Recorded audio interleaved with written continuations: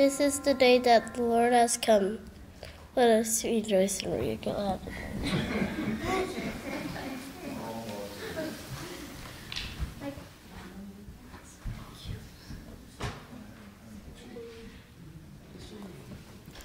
Welcome. It's good to see you this morning.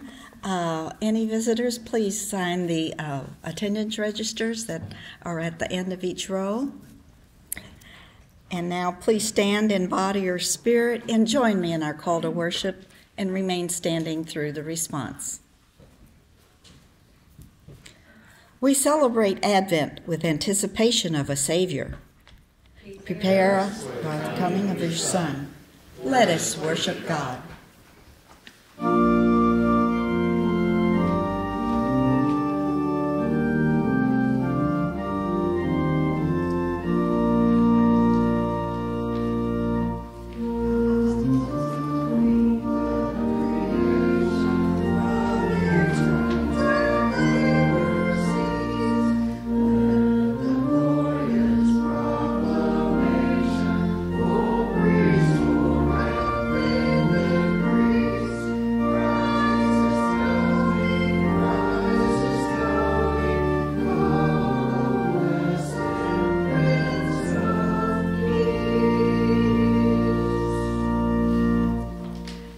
Bow your heads for our opening prayer.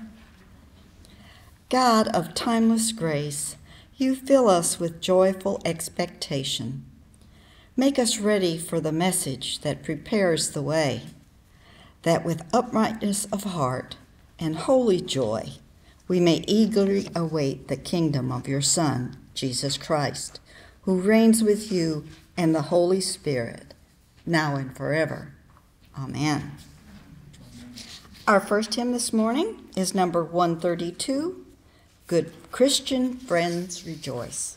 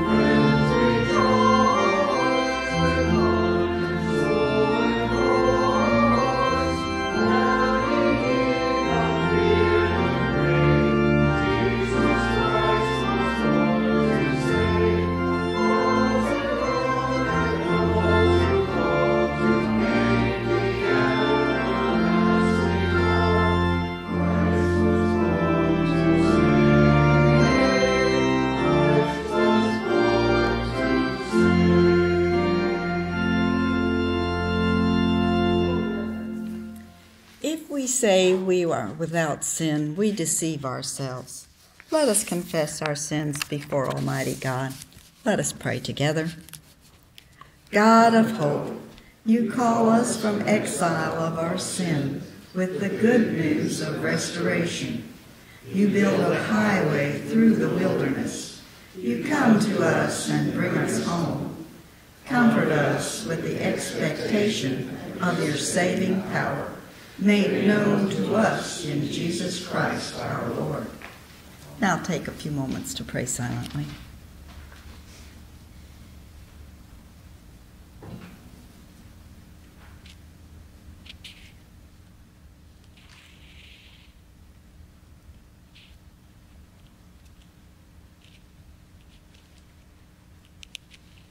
And together we say, Amen. Amen.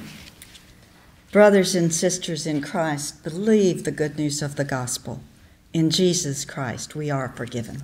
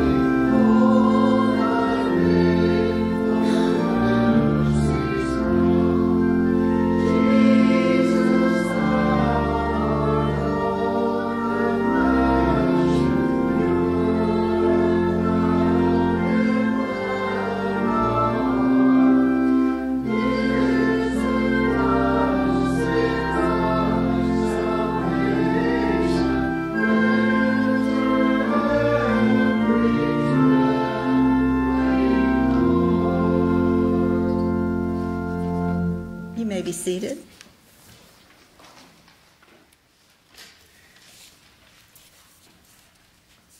Joe and Lorinda will be coming forth while we sing verse 2 of the lighting of the Advent wreath.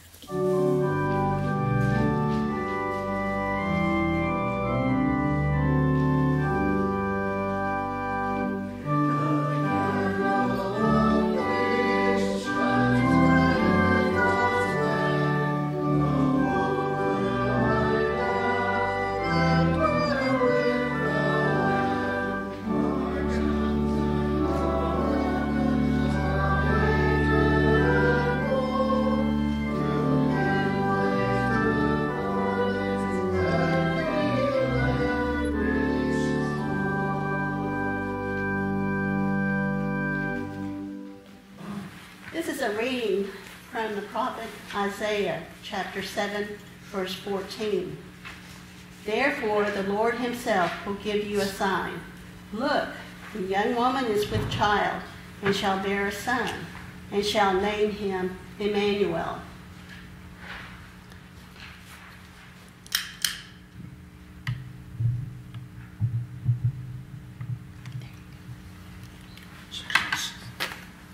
We light this candle as a symbol of the Prince of Peace.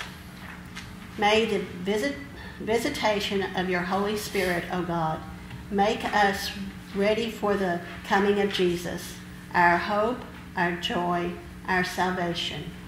O come, O come, Emmanuel. Let us pray. Almighty God, in your greatness and humility, you chose to become like one of us. You surprised Mary and Joseph. You surprised the shepherds. And you continue to surprise us with the ways in which you bless us. Help us continue to be heralds of the, of the good news the angels proclaimed in Bethlehem long, long ago. Let us ponder your wondrous love always on our hearts. Amen.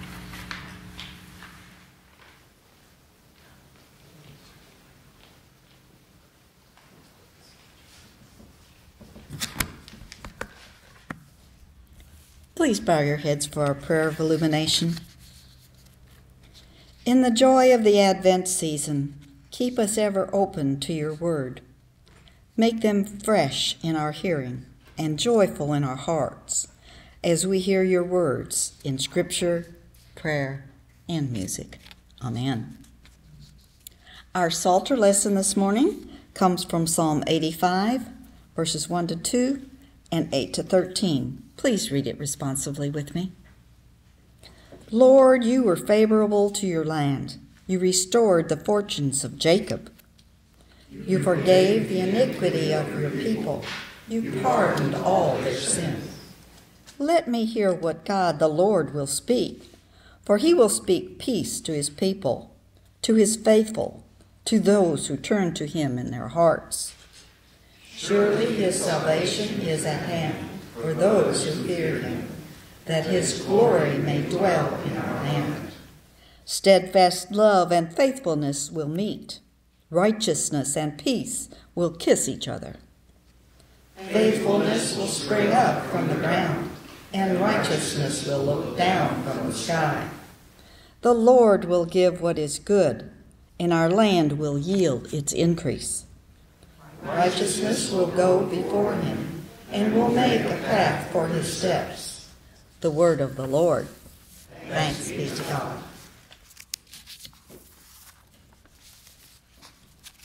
Our Old Testament lesson this morning comes from Isaiah chapter 40, verses 1 to 11. And you can follow along in your Pew Bibles on pages 667 and 68 of the Old Testament. Comfort, oh, comfort my people, says our God. Speak tenderly to Jerusalem and cry to her that she has served her term, that her penalty is paid that she has received from the Lord's hand double for all her sins. A voice cries out, In the wilderness, prepare the way of the Lord. Make straight in the desert a highway for our God.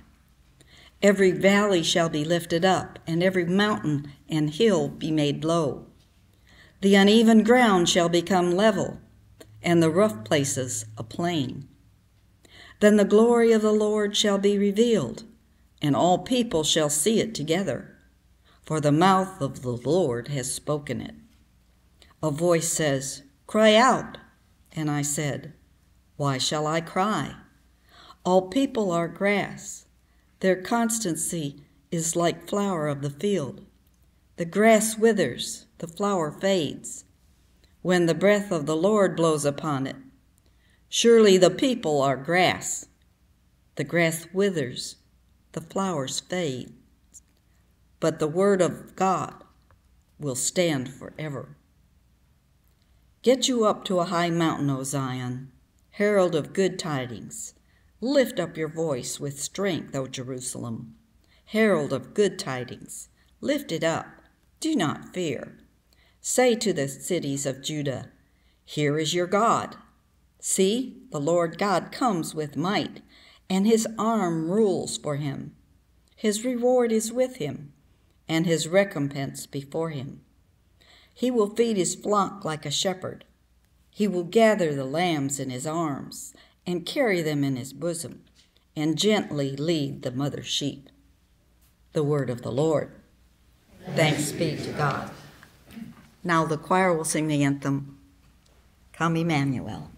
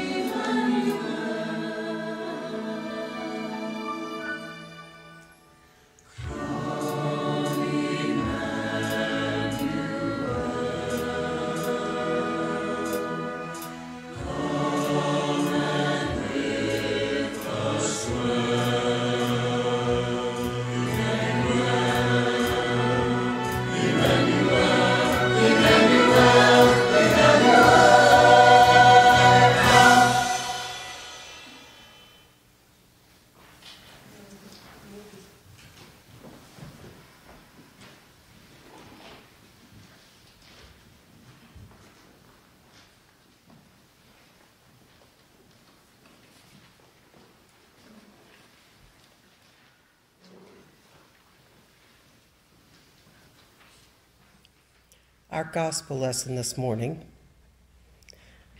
comes from Mark 1 1 through 8. And you may follow along in your Pew Bibles on page 34 of the New Testament. In the beginning, the good news of Jesus Christ, the Son of God, as it is written in the prophet Isaiah See, I am sending my messenger ahead of you, who will prepare the way. The voice of one crying out in the wilderness Prepare the way of the Lord, make his path straight. John the Baptizer appeared in the wilderness, proclaiming the baptism of repentance for the forgiveness of sins. And people from the whole of Judea countryside and all the people of Jerusalem were going out to him and were baptized by him in the river Jordan, confessing their sins. Now John was clothed with camel's hair and a leather belt around his waist, and he ate locust and wild honey. He proclaimed, The one who is more powerful than I is coming after me. I am not worthy to stoop down and untie the thong of his sandal. I have baptized you with water but he will baptize you with the Holy Spirit. The word of the Lord. Thanks be to God. This week I saw a thing on TikTok that I felt compelled to share with you. There was a car, and on the bumper sticker it said, Honk if you love the devil. The people sitting in the car were watching the rearview mirror, and one of them says, Okay. He read the bumper sticker. The light changes. They're in a turn lane. The car doesn't go. And it doesn't go. And it doesn't go. And finally, the man in the back got irritated and honked. About this time, the trunk slowly opens up, and as it does, a man with long flowing hair and a robe on sits up and looks at them and shakes his head. And the man in the driver's seat goes, Oh, I'm so sorry. um, it was really one of the better pranks I'd seen. And then slowly he lays back down in the trunk and closes the lid. Um, it's got to have been a shock. But it did remind me that sometimes we communicate in interesting ways. I couldn't read our old passage this week, Old Testament passage this week, without singing it in my head, because our Old Testament passage is what the Messiah is based on. And each verse is a different song. And as I read, every time I read it, I sang along. And I thought back to the time before the pandemic when we used to have at different churches Messiah sing alongs. Those seem to have gone the waste by the wayside since the pandemic, but I miss them. The opportunity to go sit in a church with a whole group of strangers and sing the Messiah. It's a wonderful thing to do. But like many things that involve large crowds, we've lost those but we shouldn't. The opportunity to worship God through music, through group prayer, through worship should not be abandoned. The prophecy in Isaiah is what prompted John to respond. The Jews knew this prophecy well. They all lived this prophecy waiting in anticipation, longing for the day when a Messiah would come. They knew what was supposed to happen, although, like so many things in their head, they didn't see it working out quite the way it did, since they were waiting on their military Messiah to come in and kick the Romans out. Didn't work quite that way. But they knew the prophecy. John knew the prophecy. And he knew when he came forward and referenced it that he was preparing a way, a way for Jesus. He was waiting with all of Israel, trusting God's word through the prophets. But John had an inside track. While Elizabeth was pregnant with John, she saw her cousin Mary, and it says the fruit in her womb leaped, because even early John knew he was in the presence of God's Son. So, trusting in God, he went forward, making himself something unusual camel's hair, eating locust. That's not your standard for that day. He would have looked like a wild man. But he came and he baptized people and he forgave sins and he told them who was coming after him. And they believed and they flocked to him. So he trusted God and did what he was called to do. And trusting in God, we're waiting. We are all waiting for Christmas. Mary and Joseph, last week when we were talking, they were busy trekking through the land. And you know, anytime I see a picture somebody has drawn representing the trip to Bethlehem, you see Mary on a donkey. But there is nothing in the scripture that says she rode to Bethlehem, just that she went there. I looked at all four this week, so we don't know if she got to ride a donkey or if in her heavily pregnant state she walked 90 miles. I can well imagine walking 90 miles at the end of my pregnancy, groaning, grabbing my back, wishing my child wasn't going to grow up to be a rugby player, stopping every 15 minutes for a break. Um, now, maybe she rode on a donkey. We don't know. But some people like the donkey image because they say it foreshadows him riding into Jerusalem on Palm Sunday. But we don't know that. What we know is that Mary and Joseph trusted God. And they walked to Bethlehem. They got there because they were told to go. So we know that trusting in God is a very important thing. It doesn't matter whether you're heavily pregnant with the Son of God or you're baptizing people in the Jordan River while wearing camel's hair. You do what God asks you to do. And thus the prophecy was fulfilled. They walked.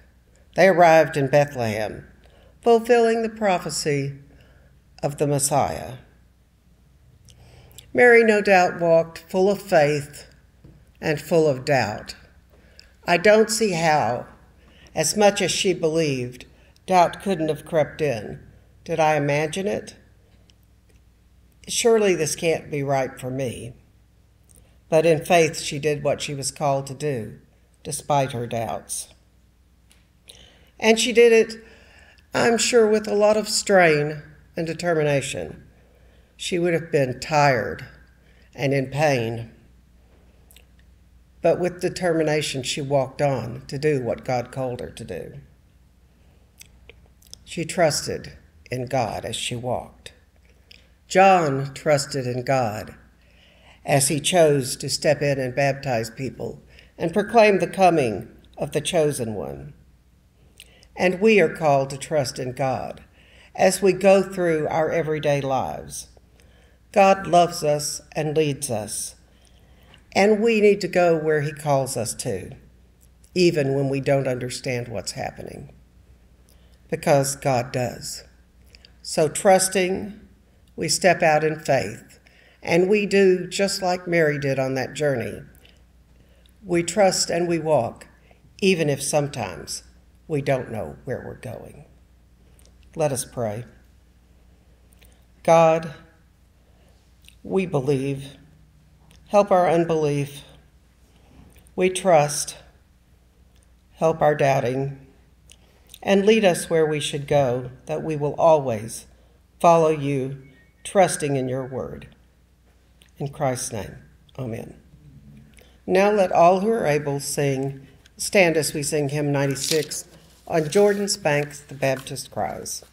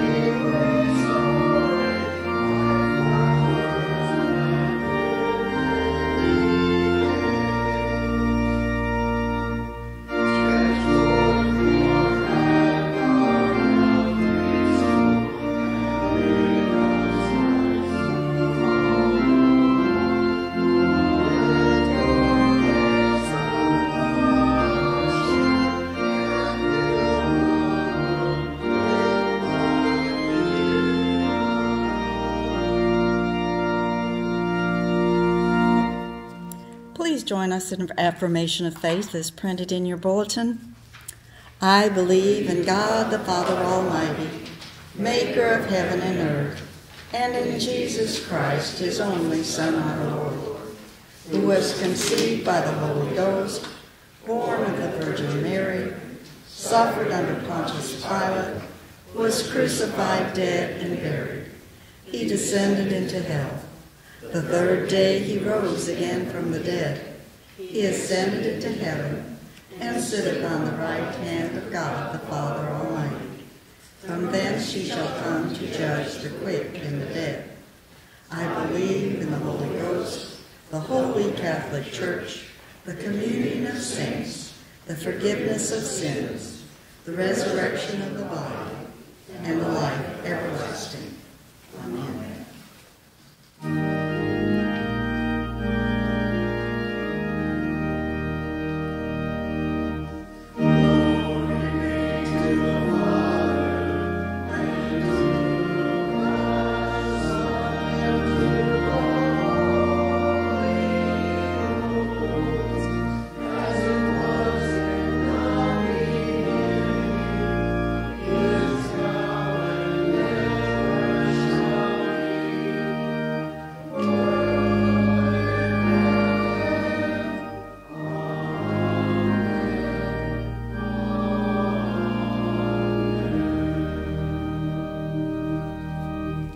May be seated.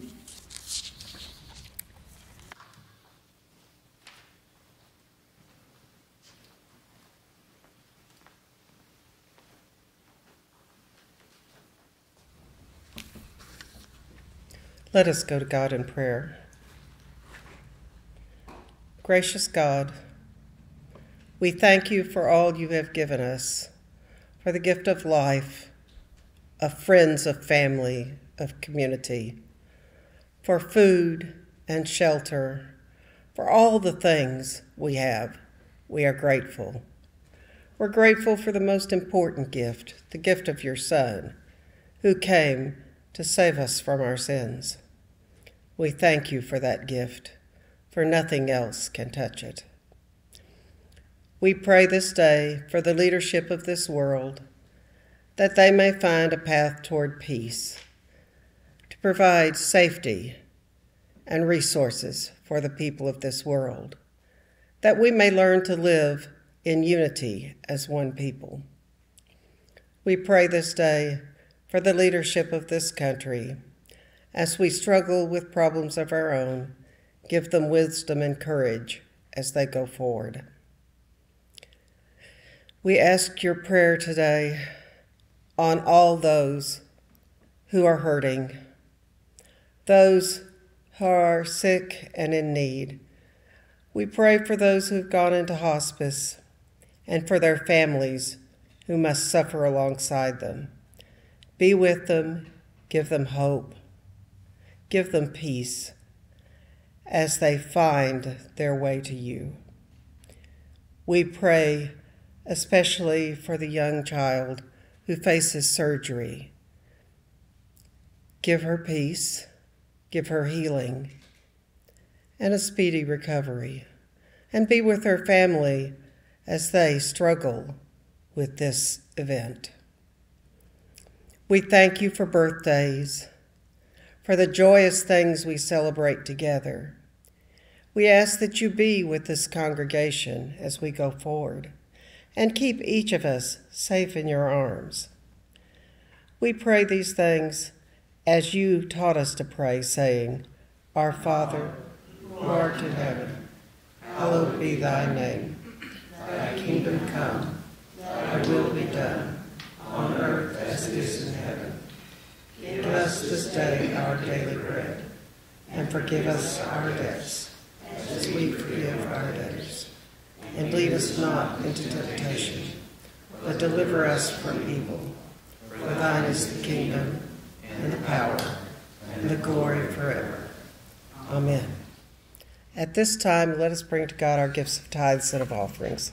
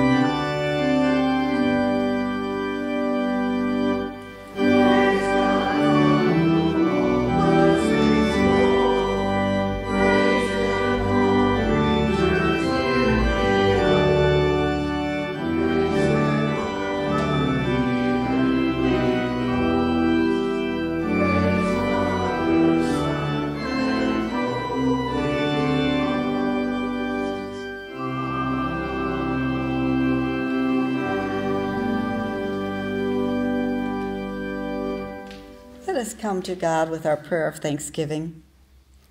Gracious God, in this season of giving, help us to be thankful for the abundance you have given us. Never let us become complacent about your bounty.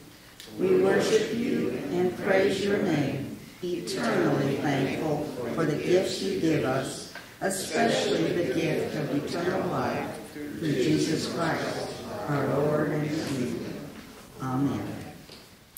Our last hymn this morning is number 88, O come, O come, Emmanuel.